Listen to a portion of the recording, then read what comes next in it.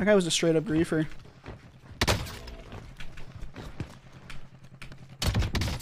Oh, you you can't you can't let that happen to you ever.